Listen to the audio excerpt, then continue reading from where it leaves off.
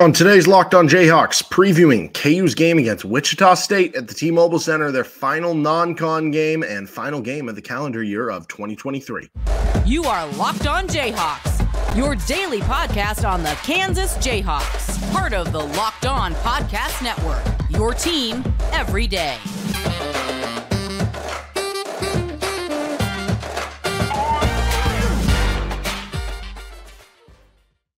I'm Derek Johnson. You can hear me as well Monday through Friday from 3 to 6 p.m. on KLWN in Lawrence with Rock Chalk Sports Talk. Thanks for making Locked On Jayhawks your first listen every day. We are free and available anywhere that you get your podcasts, including on our YouTube page where you can like and subscribe to the show. On today's edition of the show, we're previewing Kansas versus Wichita State, first meeting since the 2015 NCAA tournament. And we'll get into our top storylines, Wichita State scouting report, matchups of the game, and players to watch on this episode of the show. First, this episode is brought to you by Gametime. Download the Gametime app and create an account and use code Locked On College for $20 off your first purchase. So KU takes on Wichita State Saturday at 3 o'clock. Pregame will start at uh, 1.30 on 105.9 KISS in Lawrence and will be joined once the KU women's game ends on KLWN. Uh, it's the first meeting since 2015 in the NCAA tournament. That did not go so well for KU. Wichita State won that one with Fred Van VanVleet, Ron Baker, and the boys 78 to 65. And uh, that was just one of those. That was one of those Kansas teams that got a two seed, but it was like, ah, realistically, they're probably closer to a three or four seed, but because they play a tough schedule and Bill Self willed them to a two seed, whereas that Wichita State team felt more like a three, four, five seed, but they didn't have the schedule. So you ended up with that that tough clash. And uh, that did not go well for KU, but that was that group of young, you know, sophomores or like freshman Devonte Graham that uh, ended up coming through the next couple of years for you. But Kansas does lead the all-time series here, despite that loss, twelve to three. So they've been pretty dominant overall in the series.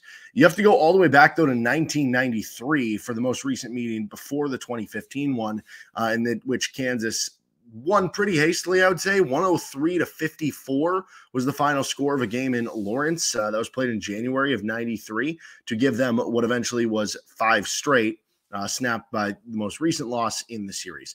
Uh, as far as some of the big storylines in this game, I think number one is coming off Christmas break for both these teams. Uh, both these teams get maybe extra rested legs, which I think is even more impactful for KU because they have a thinner bench and the starters are playing such a huge load of minutes coming off that Christmas break, resetting minds, right? Getting your mind right, feeling, I don't know, ready to roll once again and, and physically getting re ready for this, I, I think is a big deal. And a lot of times, Christmas break can really be the big opportunity for a team to improve and uh, for things to start to turn a corner, so to speak, especially for young players. Uh, speaking of a young player, Johnny Furphy, he is back. He missed the last game after he was back home for a prior family obligation. He's back in tow. How does he impact the rotation after Nick Timberlake had a big game? Do we see Timberlake off the bench before Furphy? Do we see Furphy still uh, ahead of Nick Timberlake there when they're both playing? How does that all work out? Does he have the same amount of minutes? Is it less? Uh, you know, having him back. And, and I think further to that is can Nick Timberlake continue to build off his last performance? 29 minutes played, 13 points scored. He hits three three pointers. Are we going to see him continue to play a bigger role? I don't imagine it'll be 29 minutes because now the Furphy's back. That's 14 minutes per game that he was averaging.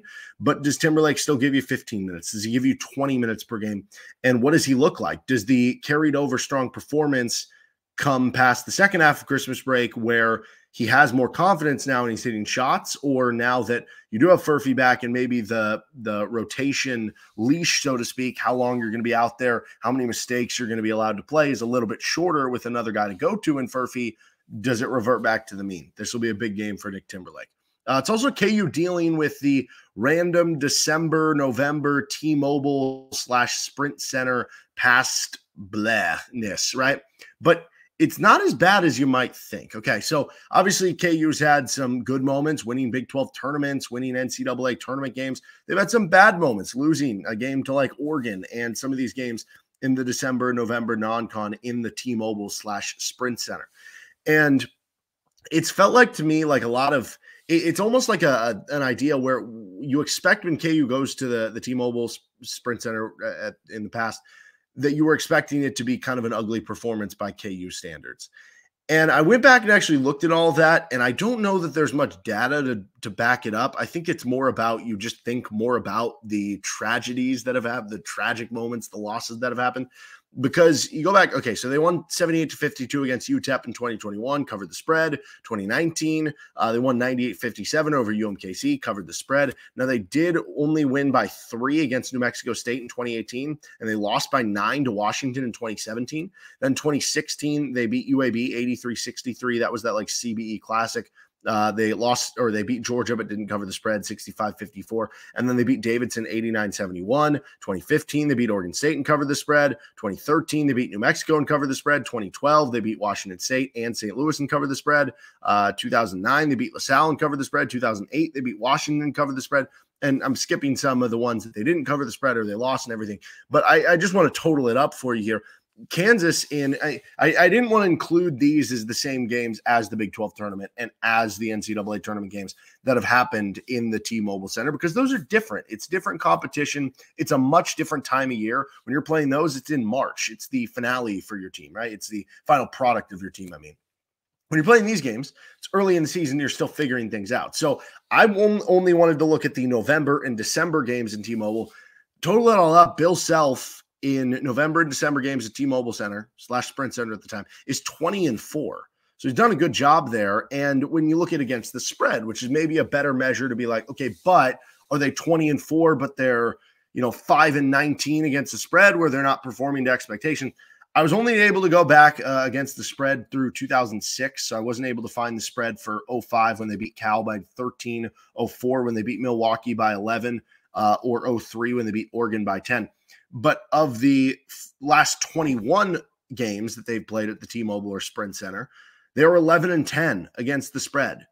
And they're 8 and 5 over their last 13. So actually, KU has not been as bad as you might think in some of these games. Now, obviously, if I did add the Big 12 tournament, NCAA tournament, I don't know if that would help or hurt the cause because uh, Big 12 tournament, they've won so many of them. They've won so many more than everyone else, but also the winning percentage in the Big 12 tournament is lower than like um, maybe you're averaging on the season, and, and obviously you think more of the Oregon loss than you do of like the Purdue win in the NCAA tournament. So uh, kind of interesting how that's all approached. But as far as the Wichita State scouting report, they are eight and four on the season.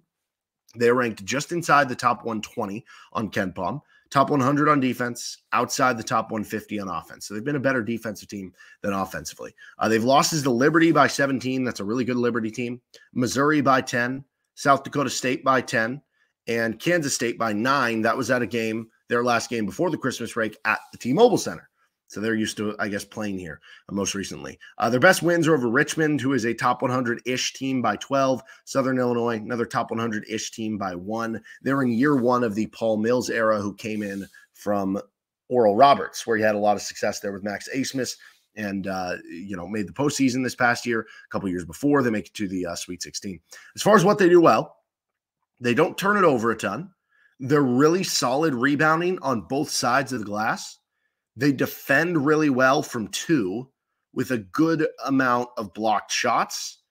And they don't give up a lot of threes or a high percentage from three. They also don't foul a ton, which is good for a team that plays uh, a couple big men in there. What they don't do well is get to the free throw line much. They're not a great shooting team either at the line or from three. They're only 30.5% on three point shots this year. They don't really create turnovers or steals on the defensive side of the ball.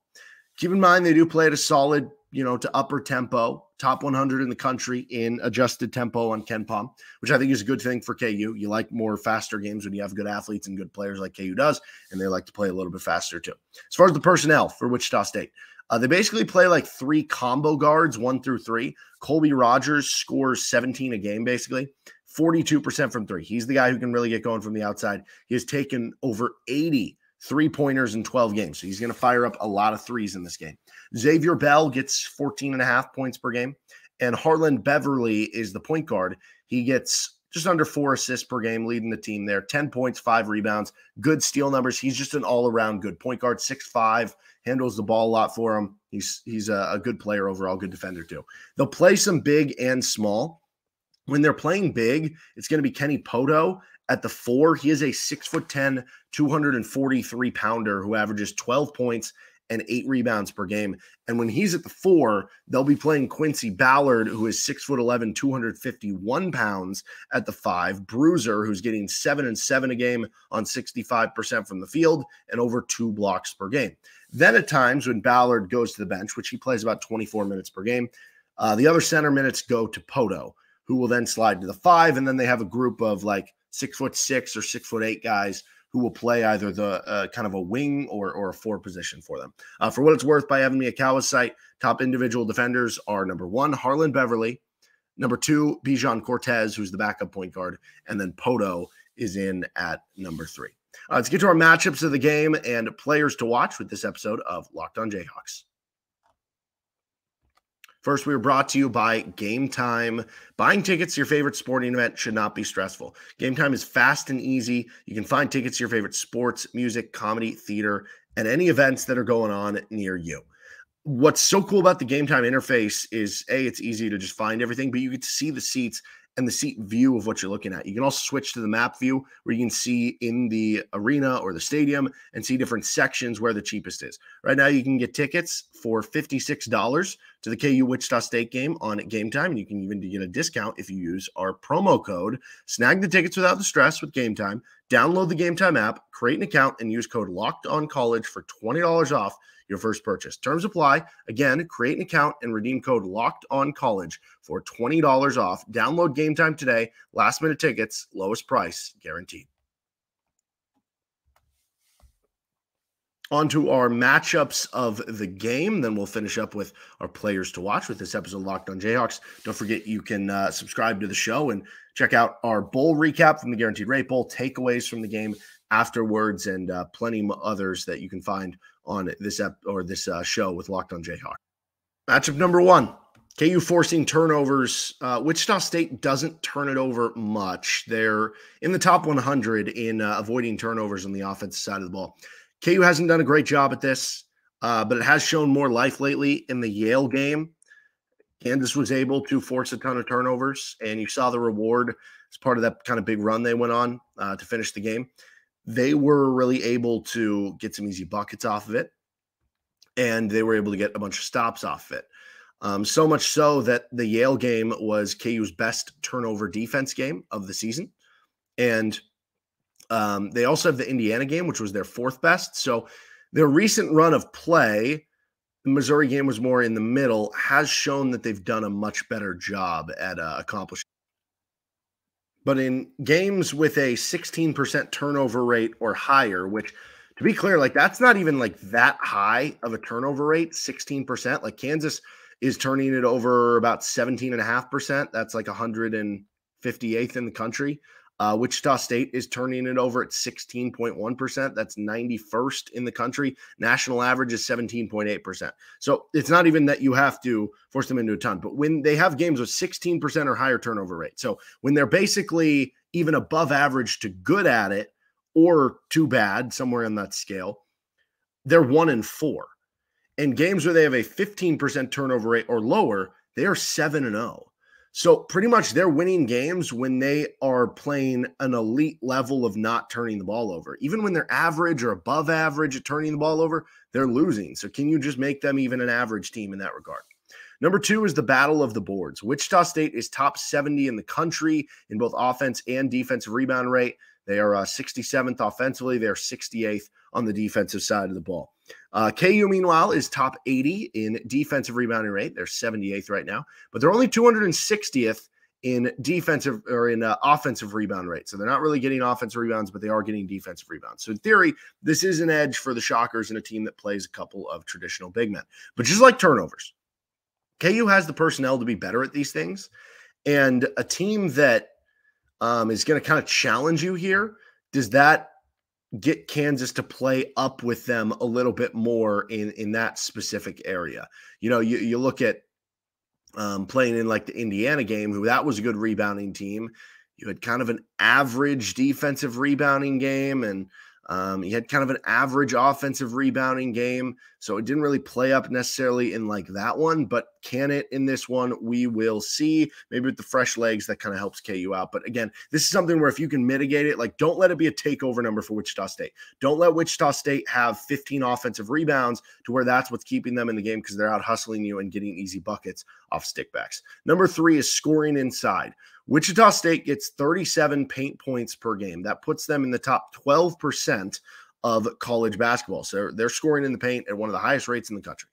Defense side of the ball, though, KU is only giving up 26 paint points per game. That's in the top 8% of college basketball. So you have two strengths going at it there. Uh, Wichita State's also been elite at preventing, or, or I'm sorry, Kansas has also been uh, elite at preventing shots inside at all it's it's not just that they're doing a good job avoiding points in the paint. They're just not giving up shots inside. They're doing a good job of denying inside, or I guess staying in front of guards to prevent easy buckets inside. Um, they're in the 92nd percentile as Kansas in preventing shots at the rim, according to CBB Analytics. Uh, the few attempts that they have given up have netted a 61% mark, which is a little more efficiency than you would like, but they haven't given up a ton of even tries on the inside. Wichita State has done it more through kind of volume than anything else, though. They're not a super efficient team at the rim, just 56.7% at the rim this season. That is actually in the bottom fifth of the entire country of D1 basketball. But they're also in the 98th percentile in amount of shots at the rim. So it comes in heavy volume. So basically, point being, Wichita State gets a lot of their points in the paint because they take a lot of shots in the paint, but they haven't been ultra efficient at it. KU does a good job typically of preventing teams from even getting those shots in the paint who will win out on that battle. But the battle isn't just on KU's defensive side in the paint. It's the other side because Kansas gets 38 points in the paint per game. That puts them in the top 10% of all of college basketball. On the defensive side, Wichita State gives up just 30.4 points in the paint per game, which is closer to national average. KU is shooting 68.7% at the rim. They have been unbelievable shooting at the rim so far this season. And they're taking shots at the rim at a 95th percentile rate, which means they're taking it at one of the five highest percentages in college basketball. Wichita State's defense is giving up just 54% at the rim, though. They have been rugged inside and tough to score on at the rim. That's really good. However, they are giving up 24 field goal attempts at the rim per game which ranks in the top 3% for the most shots allowed at the rim per game. So, again, I know I'm throwing a lot of numbers at you. I'm, I'm trying not to make this number salad, but uh, summarizing that, Wichita State has done a good job at preventing high efficiency at the rim, but they have given up a lot of shots at the rim. And for a Kansas team that wants to pound it inside to Hunter Dickinson and wants to have their guards drive to the rim, you're going to have an opportunity in this game. So does the percentage look more like KU's, which is pristine shooting at the rim, or does it look more like Wichita State's defense, which is pretty good defensively at the rim? As far as our player matchup, we're going Kevin McCullar versus Colby Rogers. Kevin coming off the 34 point outing, looking like an All American National Player of the Year candidate. Obviously, a great defender as well. He plays uh, mostly the three for KU, but you'll see him slide around. Colby Rogers plays mostly the three for Wichita State. Again, it's, it's basically three combo guards, so kind of interchangeable with the one, two, and three. He can at times play the two, he can at times bring the ball up, but uh, I'll be interested to see if that is the matchup. And either way, that's that's kind of the, the go-to scoring option on the perimeter for both teams. That makes a very interesting matchup. Let's get to our players to watch, Hawks to soar that we think can have big games or maybe need to for KU on this episode of Locked On Jayhawks. First, we are brought to you by FanDuel Sportsbook. As the weather gets colder, the NFL offers stay hot on FanDuel. Right now, new customers get $150 in bonus bets with any winning $5 money line bet. That's 150 bucks back if your team wins. If you've been thinking about joining FanDuel, there's no better time to get in on the action. The app is so easy to use. There's a wide range of betting options, including spreads, player props, over unders, and more. You can get in on futures, teams win the Super Bowl, teams make a Final Four, win the national title in college football or college basketball. Uh, so visit fanduel.com slash locked on and kick off the NFL season. FanDuel, official partner of the NFL. Players to watch, Hawks to soar in this one for KU. I want to start with Nick Timberlake. He's coming off a big game, 13 points, tied his uh, Kansas career high. Xavier Bell, who is the, uh, I guess, mostly the two guard. Again, they're kind of interchangeable for Wichita State, one through three. Uh, but he's mostly the two guard. Good score, 14.7 points per game. Um, he has been their one of their two lowest rated defenders on Evan Miyakawa's website. In fact, he is the lowest. For what it's worth, Colby Rogers, who is their three slash backup two, he's been their second worst, which means this isn't just Nick Timberlake. This is Kevin McCullar, too. Timberlake and McCullar, in theory, when Marco Jackson or Johnny Furphy are out there, should be able to have advantageous matchups and should be able to free themselves open and should be able to get some open shots and and take advantage in this game. And for Timberlake, what does it look like with Furphy back? I don't know, but this is a matchup that he should be able to take advantage of. Um, we'll see how being at the T-Mobile Center affects you know some of the shooting stuff, but uh, also Hunter Dickinson should put up big numbers because it'll be more of a traditional big man matchup. And as we profiled, Wichita State will give up some shots at the rim. Now, a lot of the shots at the rim, it might not all be post ups. It might be because they're playing two bigs. Maybe guards are driving on the big man or something like that. So uh, interesting to watch there all the way around. We'll be back for a recap of KU Wichita State later in the week. This has been Locked on Jayhawks. Thanks for joining us today. And don't forget to subscribe to the show.